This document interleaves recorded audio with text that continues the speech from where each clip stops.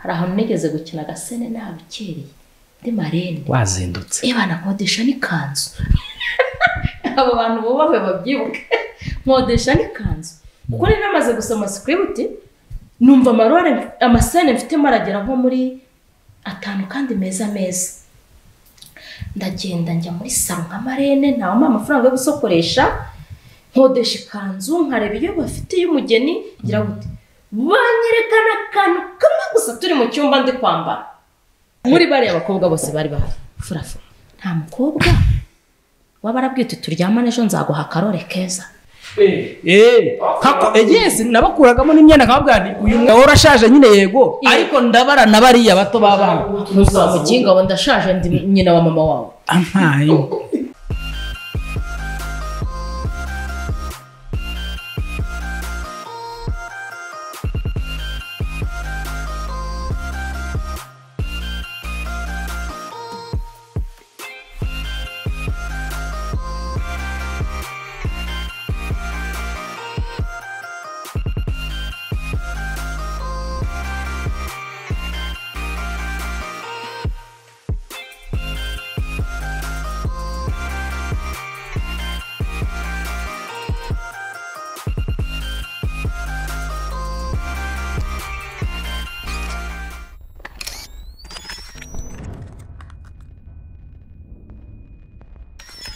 Nitwa muhire jason iyi bayita mayisha entertainment aho dukomeza kujya tubagezaho amakuru atandukanye aho tuba twibanda eh, ku biba birimo kuvugwa cyangwa se eh, tukibanda kuri sinema tukibanda ku muziki tukibanda eh, ku bintu muba mukunda. Uyu munsi ni umunsi udasanzwe ndetse ni umunsi navuga ngo wihariye kubera ko twahuje abantu. umwe niba namwita ngo ni umugabo wundi muri filime. Umwe ni we ubwo biraza kuvamo filime noneho banaganira noneho tubone ko noneho ibya filime birangiye. Garagara nabyemeye mu kivugo ehe. Umwe ni umugabo undi ni umugore. None ibintu bya filime noneho bigiye kurangira noneho turebe ukuntu bimeze. Reka mbaze meza umugabo abanze ab- abanze abasuhuze. Uraho neza mugabo mwiza. Ya muraho cyane. Ni mahoro deo ni furafura ni manzi n'andi menshi cyane. Yego nkaba ndi umugabo. Kwa mugani nk'uko bivuze Eh, ndi umugabo. Muri filime cyangwa mu buzima busanzwe umuntu arya atari umugabo aba ari iki? Ah, eh, ubwo yaba ntutse ko naba ndi bintu ni rambo ubivuze ntabwo babyumve neza. Abosi ndamenya ibijyanye ni arya ni imyororokere ubwo ni iki ariko njye numva ndi umugabo. ubwo iyo umuntu atari umugabo aba ari ingarama ya kirambi ngo niko babita. Oya, ntabwo mba mu kirambi mba mu nzu ndetse nziza ufite n'umugore? Umugore? Eh, hari ibintu najya mbasha gutandukanya. Ko bitekerejeho cyane. Oya harya ariko ndamufite muri filime oya mu buzima busanzwe. Wowe gukomeza kumureba uwo mugore no muri filime ya umugore se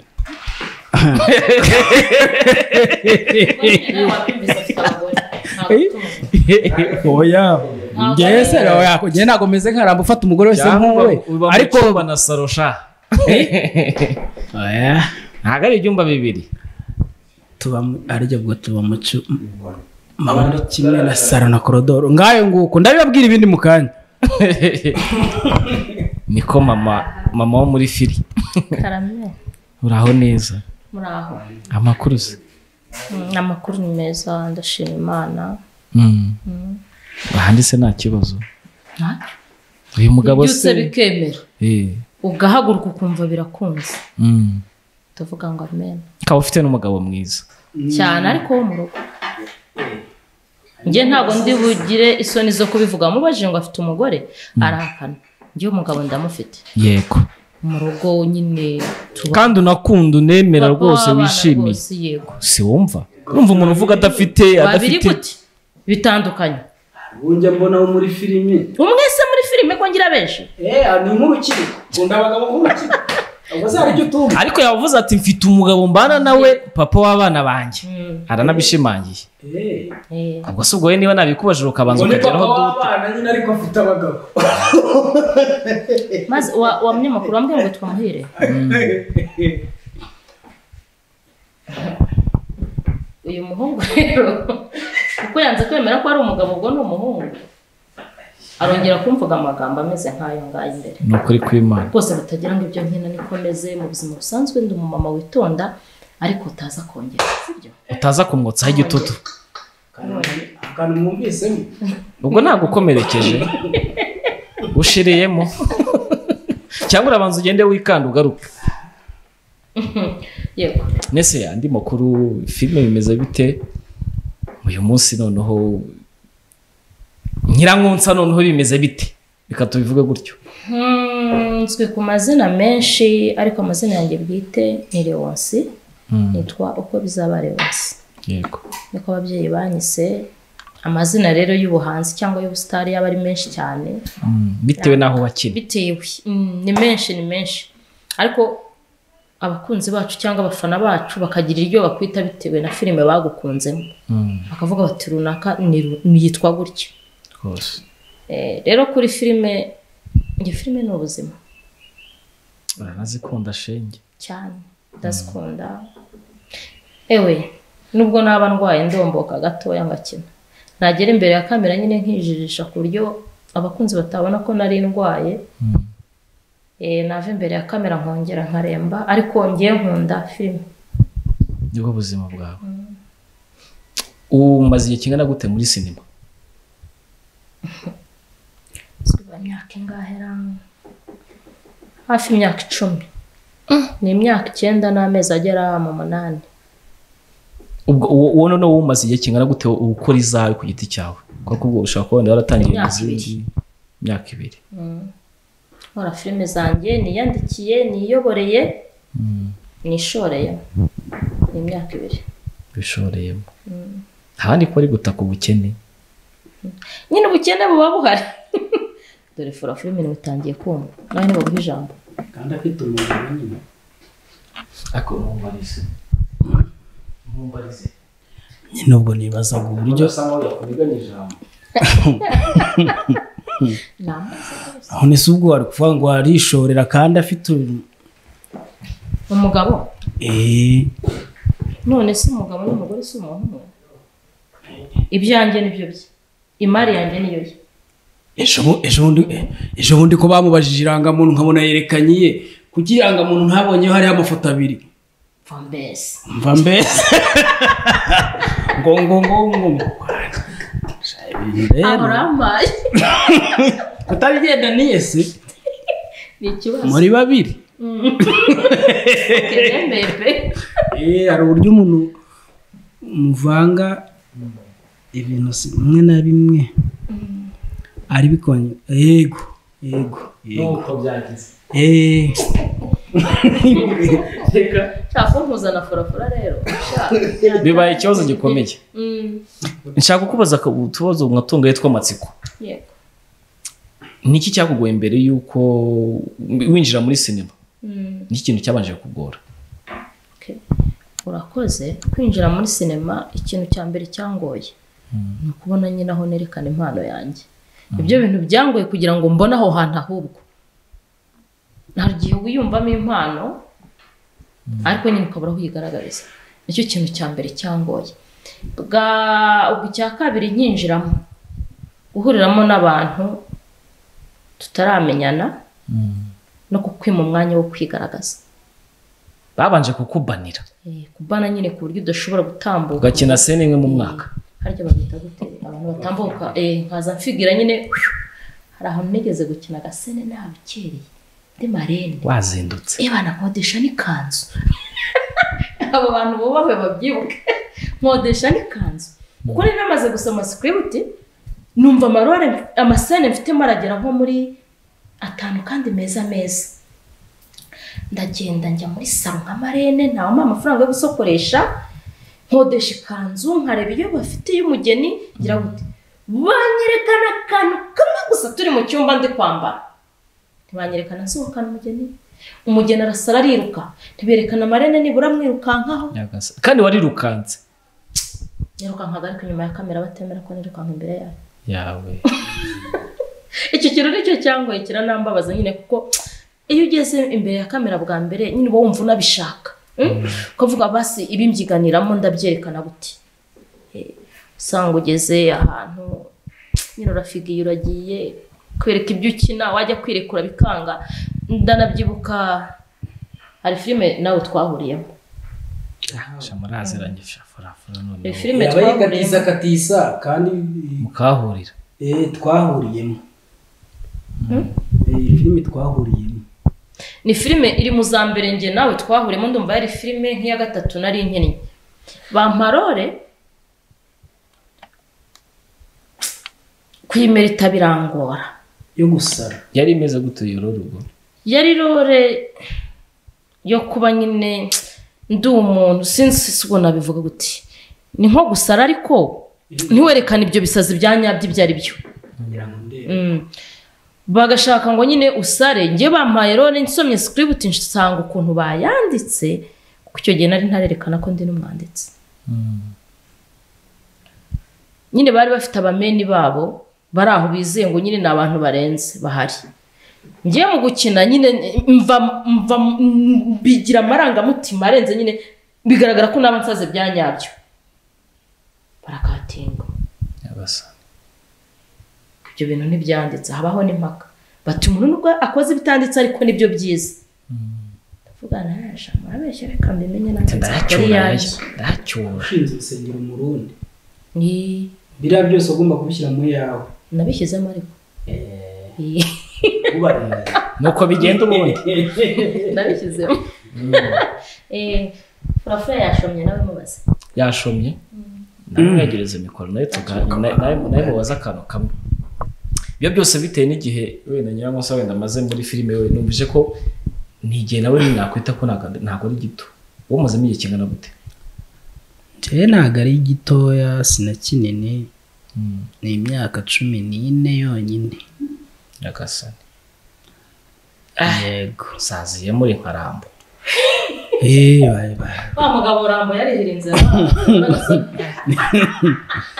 imyaka cumi n'ine ariko iyo ngiyo tuba tubara. Ubundi hari imyaka uvuga ngo imbere wagere igihe wagereye imbere ya kamera. Buriya kugira ngo umuntu agere imbere ya kamera hari indi myaka aba imaze muri sinema yego. Aba ari inyuma ya. Yego. Barafashe barafashe se- barafashe iki? Waraza uzareba nka bariya bana. Bagutuma bagutuma imineke. Ku, mupira. Bano bana bajya bahere ba- ba- bahereza imipira. Imipira bari abana ni abasitari baba bakunda kandi baba bakiri na batoya. Ariko uriya mwana igihe azagerera mu kibuga nimba uzamubaza ngo igihe wagereye muri futuboro ni ryari? Nimba uzamubaza ngo igihe wagereye kuri kamera cyangwa mu kibuga ni ryari? Sinzi. Abenshi bakunda kubyesha ngo wageze muri sinema ryari? Kuko eh eh muracyari mata- abana rega. Biriya bintu biravuna. Hari n'uyu munsi hari umuntu ushobora gukora urugendo rw'imyaka igera muri itandatu atarajya imbere ya kamera. Cyangwa se n'ibyo mwa filime bajyaga badukamera bikanashya ntitubibone. Ngewe umunsi naba navuye kuri seti nkavuga ni ko abantu batari kundeba ariko ngo bamenye. Ntabwo bazi ko nayikinnye ugategereje episode uzasohokamo n'izina ugahora sindizi uteguza abantu hari umunsi nagiye gukina muri filime barambwira ngo uri buce kuri televiziyo. zose urazirareka bose bahamagaye inshuti n'abavandimwe ubeshya ni kure ntabwo nitaye kubabaza ngo iracaho sangaye umuntu aba utazi ngo iyo uvuye imbere ya kamera. mikoro neza. Iyo uvuye imbere ya kamera biraca muri editingi biragira reka reka reka icyo napfaga nuko nari mbonye mvuye imbere ya kamera. Feri ya mbere imbere ya televiziyo. Amaso udahura. Eh bana kurekana ndatekereza. Uko bayicishijeho waciyemo. Eh, eh, eh, eh. naciyeho ndavuga nawe ntureba nibura abangaba ko nibonye. Ndavuga ngo uko biri. Ariko nkumva n'ubundi ndacyafite ipfunwe ko ntarabasha kwerekana ikindimo mpaka mvuze ni nanjye nzakora filime ariko ubwo nagiye gukora filime namaze gusobanukirwa filime ikorwa ite filime ni iki? Kuko hari umuntu ushobora kwibeshya akavuga ngo mfite amafaranga. Ngo ngiye gushora muri filime utazi ko filime utazi ngo filime ni iki? Wazana na miliyoni mirongo itatu zigashya. Kandi njye nashora miliyoni eshanu. Ngakora. Ibyo bikaba ari bimwe bishobora kuba byugarije abantu muri iyi minsi bavuga ko sinema nta filime irimo. Ngo nta buzima nta mafaranga arimo. Biterwa n'uko wayijemo amafaranga muri filime arimo.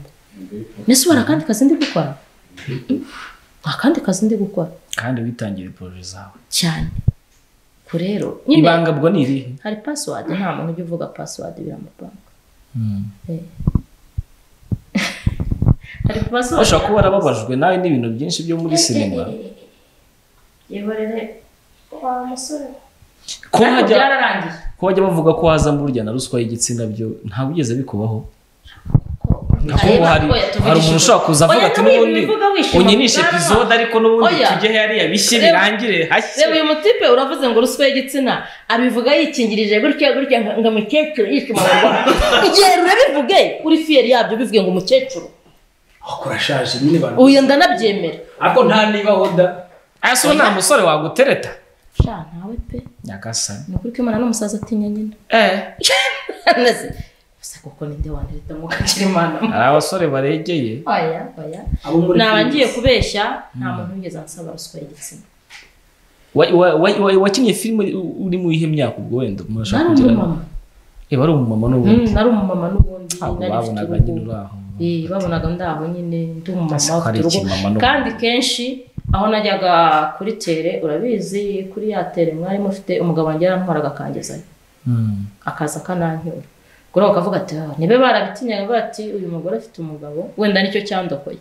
Ntawamenya nabigeze bakuganirizaho kuri ubwo buzima bwabo bavuga ati twe twahuye n'ibi byagenze gutya hariya muntu yashatse kunkora bino na bino. Mm? Ah, biravugwa ariko nanone hari igihe ubiburira gihamya. Nyine ukumva umwana aravuze ati hari uwampamagaye nijoro arambaza ngo bite? Njye ntabwo nshobora kwemera ngo ruswa y'igitsina irahari muri sinema cyangwa ntayihari. Sinabyemeza sinanabihakana kuko ntabwo nzi ukuri kwabyo. Ariko jye ukuri mfite ntawayinsabye ese mu myaka umaze wowe? Mm. uhamya neza ko idahari. Kubera ko niba umuntu ashaka kuza kuvuga ati njyewe naryamanye n'uriya muntu kugira ngo azanyini- azanyinishe filime kubera ko niba ubizi neza buriya byatangiye mu bintu bya music aho music aho byaratangiye. Hari ushobora kuba umuntu aryamana n'undi ejo akazamurega cyangwa se avuga ati yansabye iki kugira ngo bigende gutya? None baravuga ati tuzanapereza tuzeze ko no mu kintu cyitwa sinema na byo birimo na byo bishobora kugira ngo tuzahagurukire. Bo. Ariko benshi bagize ubwoba.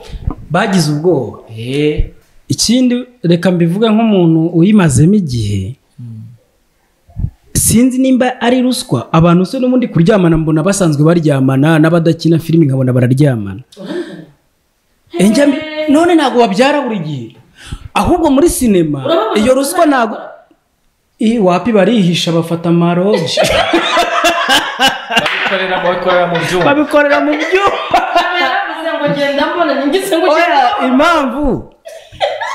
muri sinema ntabwo ndabibona ngo yanyatse ruswa y'igitsina. Bafite uburyo byo. bw'inbox ariko ugiye hari ibintu ntaramenya neza. Ngo njye nko mu rubanza rwabyo. Umuntu ashobora kuvuga ngo, reka turyamane. Nku- nkukorere iki? Ese uriya ubyemera ese ibyo bintu nyuma biza ko barabimukorera bikacamo bigakunda ku buryo agenda akabyamamaza ngo natanze ruswa ngo biza gukunda? Cyangwa wamuga byamamazwa n'abatarabibonye ngo ngo bamwatse ruswa y'igitsina gutyo ukuntu sinzi. Hari wenda wenda bitewe n'amakuru nanjye nagiye numva mu bantu Eh, hari abo numvise bavuga yuko bagiye bayisabwa mhm. ariko bakabona ko ibyo bintu wenda babikunda sometimes akabikora avuga ati reka nshakishe ya tano yanjye se- cyangwa se itazapfa ubusa. Bikarangira wenda banateye imbere cyangwa se banamenyekanye akaza kubereka ariko yarabikorewe. Mm. Rega ruswa ishobora kuba yanatangwa mu mafaranga umuntu akavuga ati njye ntabwo ushobora kuryamana nawe ariko ngenda guheza amafaranga Ah, uzagire oui. nk'umumeri." Eh, uzagende eh, ugende- amafaranga. Nabwo nangize ngo uravuze ngo reka ne kuryamana nawe uzagende wishyura umuntu aguhe.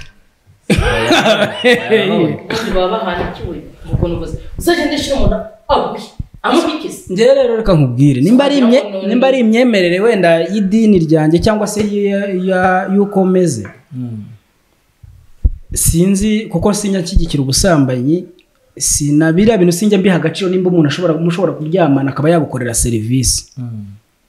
Ahubwo numva ko ruswa wenda y'amafaranga yo nshobora nzi Eh, na- sinashyiraho akadomo ndi kuvuga ku myemerere yanjye. Sinzi rero iyo amafaranga yo nshobora kuyumva ko njya nyumva kenshi cyane ikanafunga abantu. Ariko ruswa y'igitsina usibye ko nabyumvise mu yindi myidagaduro gutyo ukuntu muri sinema nta muntu buriya twemera ikintu. Furafu nta mukobwa? Reka ntangire nkubaze ndabona Eh. yakujenjekeye uri kwikarakasa aha ngaha uri kwikarakasa uri kwikarakasa kandi wagize amaporoje wari ubereye na- nanashoramo imari. Yego. N'iyi saha zirahari. N'uyu munsi zirahari ndi gukoresha ubwo. Impamvu nabivugaga ntawe urampa ruswa reka se Okay, kandi ngiye kukubaza. mbaza mbaza mbaza mbaza.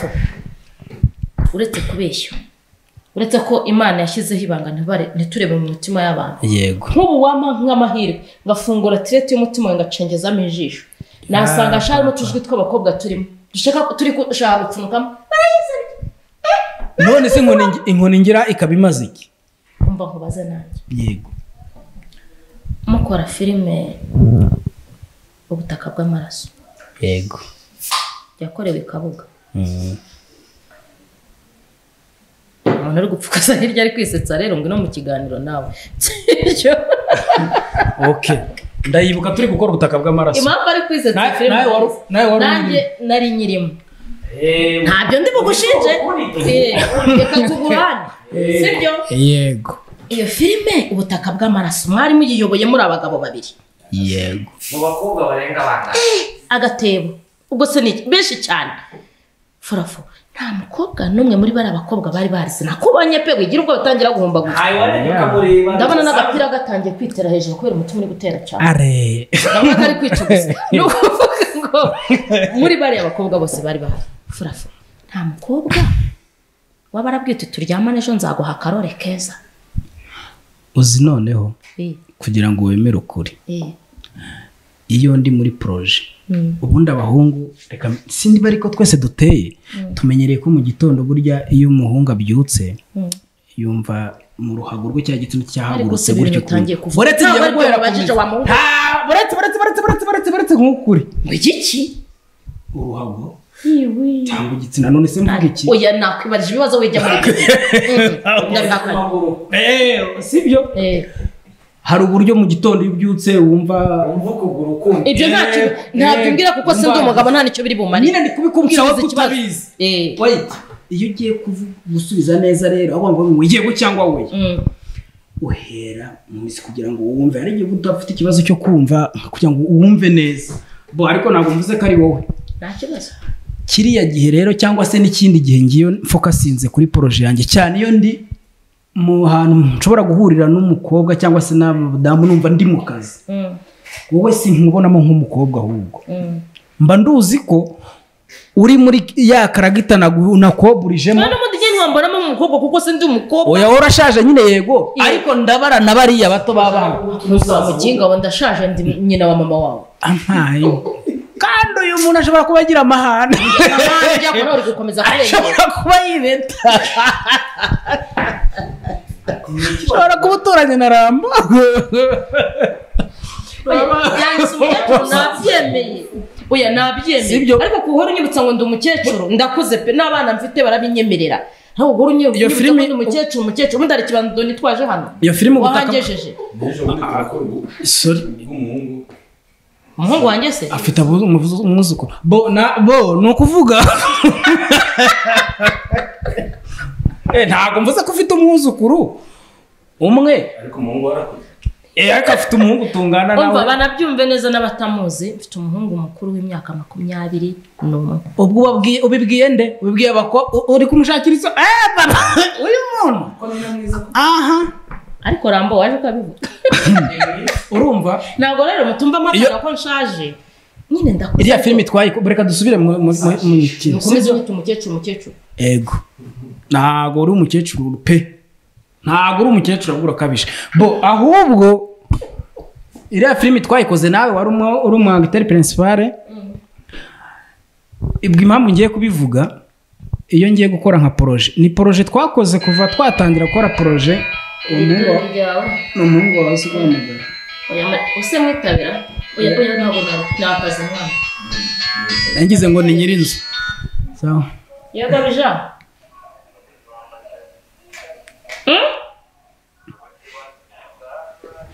Ndi mu kiganiro bija bukupye cyangwa mu mihano bija ndaje bija urinda umubwira ngo ni muguhe murenda kuvugana iki araturogoye nta na disipurine agira nabona ikiganiro cye kiri gupfa, biransakurije biransakurije biransakuriza ahubwo avuga ngo wenda nitabiye kuri aka ngaka kakomera amatwi utwo tuntu ok reka twikomereze iyo filimi twari tuvuze ubutaka bw'amaraso twakoze igihe kirekire harimo abakobwa benshi. hari harimo abakobwa beza harimo n'abeza. Nawe gutyo. kandi nanjye ndi umuhungu eee kandi umubiri wanjye ni na muzima. Yepe nda apudete Ibyo byaragize icyo gihe rero dore ikintu nakoze. Iyo poroje yari indi mu nshingano. Nari umuyobozi nari assistant director wayo. sibyo nari assistant director uyu n'abandi bamama ubahindura ubahindukiza yes. Uyu Hey! kuri seti mvuga? Eh? wumvise ikintu akubajije ntabwo nacyumvise. Mvuze- yego. Avuze ngo iki? Aravuze ngo ubahindura ubahindukiza Ah, umunyamakuru nawe ko byaba ese bya ntushobora kuba ati hagarara gutya? Yewe narabahindukizaga rwose nkanabahindura. Eh, kandi nawe naraguhinduye naraguhinduye ahaka data iyi filimi nari assistant director. Noneho hari uburyo iyo seni ipfuye cyangwa se mvuze ngo kaka ubwo ntihagarara kuri iyi sayidi ngomba nkuhindukije ni uko bano kubera ikinyarwanda gike batazi guhindura no guhindukiza. Ojya nanabakuzamo imyenda. Eh, kako- eh, yes nabakuragamo n'imyenda nkababwira nti uyu mwenda wukuremo wambara undi bitewe na sene tugiye gukora. Ni ukuvuga ngo uri director ushaka abakositimu umuntu ugomba kwambika. Akamwambika. yes nkababwira nti genda bagukuriremo umwenda. Yewe icyo Agahita kiganiro asa- agahita asa araza kwitanga uyu muhungu ndacyamukeneye muri poroje ndacyamukeneye nta ndamukeneye. Ndamukeneye muri poroje okay Ni- Byarabaye. ni byo twa- ni byo twavugaga gusa iyo poroje turi kuyikora kubera twagiye kuyikorera ahantu kure abamama eh, abamama n'abagabo narabavanguye bamwe mbaha ni urabyibuka mbaha inzu yabo. Abamama abakobwa twabaga dufite inzu bari bafite inzu yabo. Ni ukuvuga ngo abahungu nabo kugira ngo hatazagira n'ikosa ribera kuri tere kuko twese ntabwo tuba dutekereza kimwe. Bakubita inzu yabo. Telefone? Noneho twagiraga kondisiyo. Nimba ari igihe cy'ubutembere bwo kuba twasohoka. Twasohokeraga hamwe tukongera tukaba twakongera tukagaruka. Kuko wavuze byinshi kandi nakubajije ikibazo cye. Ntahereye mu mizi kugira ngo ubyumve na- n'abandi babyumve. Maze nasobanukiwe. Ndumva ibyo ntibisobanutse. Aka kanya n'ikibazo nshaka kugira ngo mbabaze. Nshaka kugira ngo nasobanureho cyane cyane yuko nyiramunsi wenda ashobora kuba bifiteho n'amakuru menshi wenda no kundusha. Cyo? Ubwo ni iki? Uyu munsi hariho ikintu cyitwa contribution. abakobwa bateye neza mu mujyi wa kigali. Urabizi ibyo bintu? Ngo? Ni umukecuru. Ni? Yaturutse ni umukecuru. Urumva? Ngo ubwo ibyo bintu ntabwo muri byumvikanye Paul. irimo irimo gu- irimo gukusanya amafaranga ya karisa erinese cyangwa se samusuri. Yego. Ndakubeshyera ariko Ah, nta birenze ndi gukora. Kuba naba ndi muri iyo gurupe nyirimo cyangwa ngafata iyo link nkayisharinga. Wabona ari ngombwa kwinjira ko twafashe umuvandimwe ukinjira muri iyo gurupe yego. Ikibazo gihari kano kanya abantu barimo kwibaza? Iyo gurupe kuko irahari kandi n'amafaranga nzi neza ko wenda niba uri umuntu ukurikirana uko amafaranga agenda atangwa na byo urabizi. gutangwa rwose. Yego. Uko bivugwa dushoboye yuko ngo judith ashobora kuba yatanze miliyoni esheshatu. Ibi ni ibivugwa. Mm, kandi ngo hari hari umuntu ushobora kuba wafungisha samusuri. Mm, ngo kubera ko wari hari sheke itazigamiye ndetse iyo sheke ashobora kuba yajya kuyiteza. Mm. bikaba ari na byo byatumye samusure yambuka ava mu rwanda akajya ahari kano kanya. Ese koko muri contribution mwe muri gukora muri kugendera ku mafaranga samusure yavuze ko akeneye cyane cyane ko wenda bivugwa yuko jidite yamaze kwishyura kandi mu mafaranga samusure yavuze ko akeneye miliyoni ni esheshatu esheshatu umunani ni hagati aho. Zirindwi magana ane. Uri inyuma ya kamera arakoze kudufasha. Ngo Eh, ni zirindwi magana ane. nta niko nari mbizi. Mm. ese muri gukora contribution mu mafaranga mutazi cyangwa se muri mufite target y'amafaranga mushaka kugeraho kandi namwe mutazi aho mugomba kugeraho? Okay Ah, iki kibazo cya samusure abantu bari kukivugaho ibintu bitandukanye. Cyane cyane abanyamakuru nk'amwe abantu nkatwe turi kuvuga ibintu nyine bitandukanye. Ariko ngewe igihari ntabwo najya ahagaragara ngo mvuge ngo bimeze gutya ntangaza amakuru kuko sinigeze mbasha kuganira na samusure nyirizina. Amakuru mufite niyo mfite.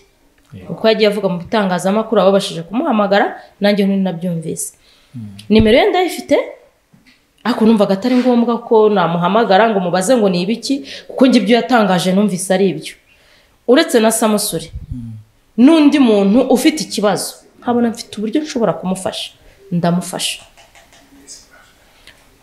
Rero kuba samusure yavuga ati nihagazeho biranze mfite ikibazo kimeze gutya.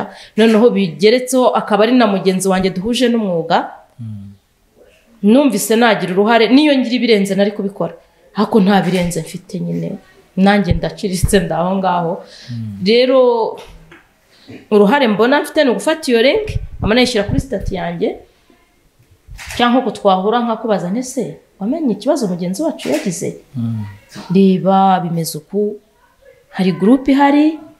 Wajyaho ukareba uburyo watanga ubufasha bwawe nta kindi mbiziho.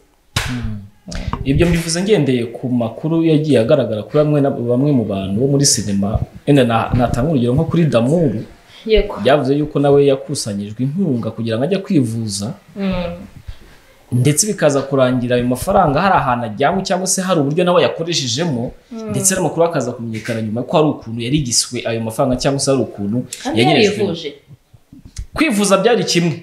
Ariko amafaranga bitewe n'ayo yavugaga ngo byaje gusanga bitangana n'iki n'amafaranga yari akenewe. Bivuga ko hari andi yagiye ashyira nyine apusika nyine ku ruhande. Ibi rero bya bikaba kano kanya birimo gufatwa nka puranka bakibaza ati ese samusure yagiye yiga umutwe neza hari muri zambiya? Eh, ni muri zambiya? Ndakeka. Muzambika hari e Mozambique. Yagiye yiga umutwe neza arawusesengura neza bitewe n'igihe yaranamaze amaze kwigaho neza arawusesengura. Uyu munsi akabona atuzaniye ikintu noneho amaze gutegura neza kandi yizeye neza ko bagomba kuzamushyira abanyarwanda kubera ko azi neza ko n'abanyarwanda bagira umutima wo gufasha. Icyo ushorejeho ni na cyo cyiza cyane. Kuba tuzwiho nk'abanyarwanda ko tuzi gufasha dukunda gufasha. Ariko nanone bashobora kuba bamenya ko yaba- yabatetse umutwe nabwo bakazamurakarira ingero byo guteka umutwe sindi bubitindeho cyane cyangwa kuko ariko bizatuma ariko nta nubwo byatuma mbyinjiramo ryari samusure ni ibintu bisanzwe. Nta nubwo dukunda kuvugana. Nta nubwo dukunda kuvugana rwose. Ariko si uko ntafite nimero ye. Ariko ngewe ikibazo cye nakigize icyanjye nk'uko n'undi ufite umutima cyumva ubundi oya nta gihe nyimazemo ngembi bonye ejo bundi ni bwo nabashije kubona iyo linki ndumva nta nyimazemo nk'icyumweru. Nyimazemo icyumweru gusa. Ariko ubundi ikintu kiba kigenderewe gira neza wigendere. Hari ikindi? Niba ugize neza urashaka kujya kureba ngo ngo uyu muntu ngo ngiriye neza ngo ese ararwaye. Ese kuki nibe hari ibintu. Ubundi niba umuntu agutakiye ufite icyo umuha wamuhaye. Ubundi urajya kureba ngo ese ni ibya nyabyo ngo cyangwa si ibya nyabyo? Urabishaka wiki? Ejo biramutse bibaye ngombwa ko umenya ko bya bintu burya atari byo. Umugayo umujyaho ntabwo ari wowe ujyaho. Umugayo wamujyaho ntabwo ari wowe wajyaho wowe icyo umutima waguhaye wagusabye gukora waragikoze kora ikintu wigendere kandi uyu muntu w'umugabo sinzi ukuntu yawe furafu wowe wowe bivuga bo njye rero sinzi mbi sindabisobanukirwa cyane ahubwo muramfashije no ku furafura navugana n'uyu muntu wahamagaye ariko nkajya ku ruhande nta kibazo n'akazi kadapfa niko bimenyerewe igendere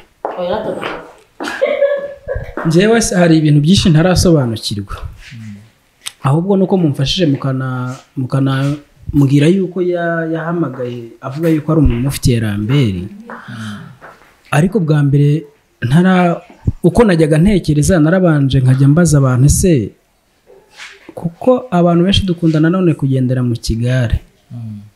Ntidusobanuze cyangwa se ngo tumenye ibyo ari byo tukavuga ngo gutyo reka tubikore gutya narazi se byamugendekeye bite? Bakavuga ngo ni umuntu afitiye ideni nkabaze se iryo deni ningana rite? Kandi nawe mwarakoranye. Eh ni umushuti wanjye turabana mu, buzima bwa buri munsi turavugana turasangira. Na mbere y'uko agenda rwose twa ndumva nta kwezi kwari gushize tubonanye cyangwa se icyumweru. Ubwo rero nkibaza ntese umuvandimwe ni umuntu wagiye kumurega mu rukiko? Ariko ntabwo nari narumvise ayo mawudiyo yahamagaye. Sinzi ni- iyo na interiviyu yakoze ni iki? Interview yakoze.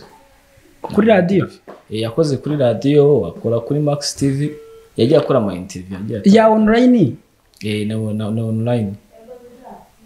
Ah oui. Bara ni samusure bavugana Sam- cyangwa ni ni Samusure. umuntu? Ariko umuntu aregwa burya ijwi. Ni samusure ni samusure eh rwose. ijwi umuntu ashobora no kurihindura ugasanga yitiriye samusure. Ni samusure rwose. Arahamagaye. Sinzi ubwo bo bafite proof yuko ari we. Rwose hari n'akandi kavidewo nawe yasohoye ejo bundi na kumva yagiye gusenga ahantu mbona mumeze nko mu ishyamba. Ah oui. Ubwo rero icyo nibazaga naravuye se uyu muntu yambuye wenda ari hano mbere mu gihugu cyangwa se ari hariya aho ari? Ese nibura ntabwo byari butangazwe mbere nibura mu itike nkeya yari afite yakoresheje tukagira ko twongeraho aho kugira ngo umuvandimwe ajye kure n'abafana bamubure. Sinzi we nk'umugabo nyine afite uburyo yafashe umwanzuro ariko ntago nyine bya byacukumbuweho ngo bi- bigire cyane ku buryo nimba ari inaha tutari bukore iyo fundraising n'ubundi tukaba twamusapotinga Eh, tukamenya ese iryo deni uko byari bigiye kugenda ibintu nk'ibyo. Ndakeka wenda bizamenyekana nyuma. Ariko uyu munsi nyine sinzi nimba yaba ari we ariko hari ibintu ibintu bya fundraising gufashanya ni byiza. Ariko mu minsi iri imbere hari abantu tu- bazajya banifashisha bigatuma abantu batabafasha. Bo ntabwo mbivugira kuri samusuri ahubwo mbivuga nko muri audience y'abantu numva cyangwa se bari hanze aha. Nka kuriya bafashije nyine nka kuriya babikomoje kuri damuru noneho damuru nyuma bakavuga ese ko bitari bimeze gutya? Ariko usibye ko damuru mbizi neza narari bihagazeho. Yari arwaye bikomeye cyane kandi kugeza na n'uyu munsi yarorohewe ariko nta nubwo yakize ijana ku ijana. Ubwo rero umuntu nanone ejo cyangwa ejo bundi kubera hari ababifashe nko kwesikoruka ntabwo abantu bose babifashe biriyo ko ari ukuri. Bo na biriya ntabwo turabimenya ariko tuzabisobanukirwa neza buriya. Yego. Cya ndumva byaba ari byerekana imana ikora ibitangaza buriya niba ari n'ibinyoma buriya tuzabimenya na byo. Ya gusa nyine sinzi wenda ngo hamaze kugeraho miliyoni zingana nimba abasha gutangaza ngo hamaze kugera aya ngaya harabura ya kugira ngo wenda nanjye watanze make nongere nongereho sinzi nimba mwebwe mujya mubasha gucukumbura. Sibye ko nk'uku natwe tuba twihugiyeho kandi ari mugenzi wacu twagombye kujya tumubaza. Oya n'iyi linki na yo ushobora gusanga abantu bose itarabageraho cyangwa se ngo bamenye ngo ari gutangamo uburyo ariko nzi neza ko ahantu hose yagiye akora nabo ni uko bajya bashyiraho nimero ye mu buryo bwa mobile money cyangwa se mu buryo bwa odi limit cyangwa se mu bundi buryo bishoboka. E ku buryo no ku rubuga bakora ngo hamaze kugera haya Eh, ubwo urumva ko niba abarukoze bavugana na nuza na samusure Batangaza. hari imibare nibura ifatika. Wi ubwo buriya nanjye nanjye ndaza kubigiraho hari uburyo tugenda tukihugiraho ugasanga ntabwo dukurikiranye ducukumbuye kuko bwa mbere babivuga numvaga atari byo. N'ubu kandi kuva tutaravugana ntabwo namya ngo ni by'ijana ku ijana. Ya. ariko ngomba kubicukumbura kuko ni umushuti wanjye nkabimenya. Tukibaza uwo muntu umufitiye watumye arenga igihugu akagenda kandi njya mbona hari n'abantu bariho amadeni baguma hamwe bakaba babihanduringa. Kandi ndakeka umuntu umufitiye ideni ayo wamuha ukamubwira ati n'andi araboneka ntabwo yabinegirija so byose birashoboka tuzakomeza tubyigeho turebe. Nyirangusa telefone yabaye telefone. Oya. nizere neza ko yavuganaga na samusure yagize kumwuka byarumara agiye. umunyarwanda kwifuriza ko ibibazo afite bihagije. Hasi wa muntu we wo hafi w'igikondo we nta makuru ye. Nta nubwo amuzi Eh. Ntacyo bya samusure byose ni amabanga. Hari umuntu we buriya ngo wo hafi buriya ngo by'isi inama ngo ubika uba hariya rwose za gikondo. Ariko ryo ni ibanga ibyo ntabyo nzi rwose nyirankotsa ndeba ibi ndeba. Tugana ku musozi w'ikiganiro cyacu. Ushaka kugira ngo numenye ngo uhugiye mu ki? Uyu munsi abantu bitega iki kuri cano yawe n'ubundi nk'ubusanzwe nk'uko abantu utajya ubarambira uyu munsi mu ki? Okay, muri iyi minsi rero ntabwo nicaye ubusa ndi gukora amaporoje menshi. Mm, hari poroje maze iminsi mpugiyeho ewa nagenda nagenda ndicara nicara za musanze ni ho nayikoreye. Filime yitwa nyirankotsa nyawe. Uyu mugabo n'impamvu twicaranye ahangaha buriya tuba dufite n'imikoranire. Ni poroje nyirankotsa nyawe ica kuri cano yitwa furafura tivi ngo ntiwicaranye na nyirankotsa ukaba wicaranye na furafura hakaba hari poroje ikitwa ngo nyirankotsa nyawe ikajya kuri furafura tivi urumva? Hari imikoranire ya hafi hari. Eh, iri gucaho filime ebyiri harya indi yitwa behind the church. Behind the church. Ni ibibera mu rusengero. Nyuma y'urusengero. Ukabona abantu turi kuramya no guhimbaza. Ariko mu nyuma- nsengero inyuma yarwo nyine mukamenya ibyo dukora. Eh, iyo filime ni filime ziri gucaho ari ebyiri. Ah, ndi muri filime yitwa seka komedi iri guca kuri ganza tv ntamenye no gukina komedi Eh? abantu bamenyereye ngo nyina urashaje barimo kugusajisha kandi ugikina komite vurema ndanakuze ariko nyine kuko ndi umumama mukuru. Ntabwo ndi urubyiruko sindi nkunda rubyino si- ndi umumama iyo umuntu agize abana batatu kandi bakuru ufite urugo. Nyine uba ukuze ariko ntabwo nshaje. Ndakuze sinshaje nshaje. Izi saha naba nifubitse. Naba afite n'ikibando hano iruhande rwanjye ariko simakana ko nkuze. Eh, hari indi filime nshyashya nshaka kubaha ko sindi bubabwire izina ryayo? Ni ibanga. Ni ibanga. Maze iminsi nyishutinga abantu bakunda ukuntu nkina mfite amarangamutima ndira ngurukana abantu nta bantu bajya bakwibeshyaho buriya ku biriya bya filimi. Eh, abantu banyibeshyeho bakagira ngo uri inkumi nitwa nyirankotsi kandi nitwa rewonsi nawe ujya uvuga ko ushobora kuba uri n'inkumi. Inkumi? Cyangwa se wenda uri nk'umufilime bya bindi wenda muri minsi bavuga kuko ko nutareba ntiyakabakaba babona ndi inkumi naba naragumiwe aba naba naragumiwe pe bakareba igihagararo cyawe bakareba nta muntu unyibeshyaho nta muntu unyibeshyaho yuko naba ndi inkumi oya rwose ndi umumama mukuru ufite abana bakuru nta muntu unyibeshyaho cyane cyane ko mba mfite ikizibiti mba nakigendanye ahantu hose ako kantu se ko nanuza gafite reba banza urebe aho yambaye reba reba reba reba. Gusanga hari idafatamo oya reba oya reba. Reba ushobora ibintu bitandukanye. idafatamo reba ibintu bitandukanye urebaho impeta ye. Buriya rero ahubwo wa muntu we wa muntu reka ndabura umuntu wa furafura. Ndamuzi. Kandi turaziranye dufite ubuntu tuziranye. Urebe uyu muhungu ahantu yambaye impeta. Reka mbashimire rero ndetse mbifuriza iterambere mu buryo murimo gukora byose. Ariko reka mbabwire nanjye. Kuba twatakurenganyije Nari- niganwe ijambo. Ya nanjye rero ndabashimira muri rusange. Nshimira abanyarwanda n'abandi bose badufasha kureba ibihangano byacu. By'umwihariko mwebwe mubasha kugera kuri tele mukaganira natwe tukavuga byinshi bitari muri filimi. Ni iby'agaciro ku rugendo muba mwakoze. Muraba gushimirwa ya nk'uko amare wansa bivuze rero dukunda gutera dukunda gutera burage ariko ni umumama nubaha mfata nk'uw'icyitegererezo kuri jye iyo turi kumwe dukunda gukinana turashihurana tugakora ibintu bifuti mu buzima bwa buri munsi. Ni muri sikiributi ariko ni umumama uyu munsi nshimira kuko hari igihe ndi umuntu nshaka gutana akavuga aha gira gutya ca muri uyu murongo niwo muzima dukunda gufatanya tumaranye imyaka itari munsi y'ine cyangwa itanu dukora. Imyaka itandatu. Dukorana umunsi ku munsi.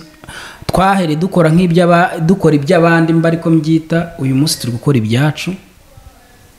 Nibyo yakubwiye nimba dufite poroje yitwa nyirankotsa nyawe iri guca kuri furafura tv hari imikoranire ya hafi na hafi. Dufitanye so ni byiza cyane ndamushimira kora.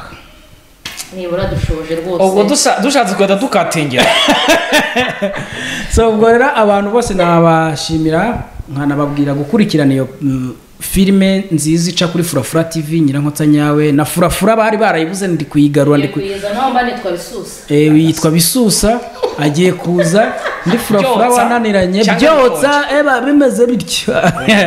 Ya ndabakunda cyane rero. Murakoze namwe murakoze cyane.